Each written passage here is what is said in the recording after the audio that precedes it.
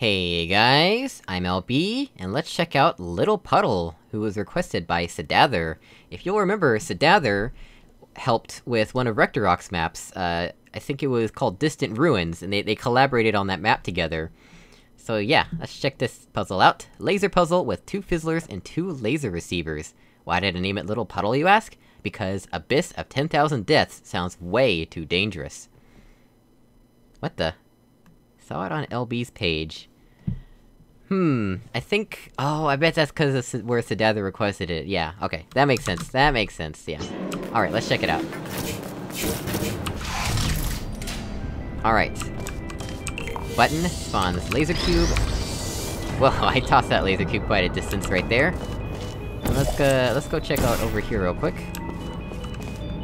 So we have our end goal of a laser pointing here. And we have our midway goal of laser pointing there. Alright, so... Let's start with our midway goal. Oop, missed it slightly. There we go. So that's done that. And it toggles the fizzlers. Interesting.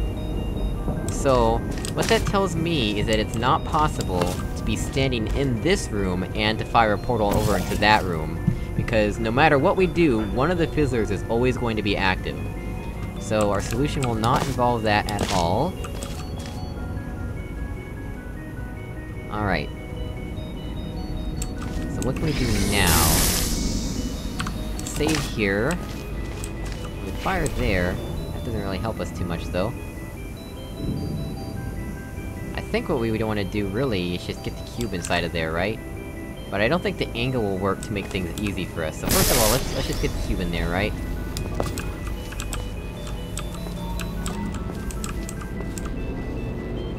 Yeah, that angle is, is not gonna work. Alright, so... Instead, what we can do... is... We can point it at a wall like this. The problem is... There's nothing- there's not a wall directly across from there, so whatever solution we use... is gonna have to involve... a slight tilt of an angle. Which way is the angle gonna need to work? So if we have a portal here and a portal there... We want that when we walk in, we want... slightly to the right. Alright. Let's try... let's try that. Maybe that'll work. I have no idea. Hey! First try! Did it. Alright, so let's fire that again. Yep, that worked. Awesome! Well guys, as always, thank you for watching, I really appreciate it. You can show your appreciation with the two buttons below the video that look like these right here.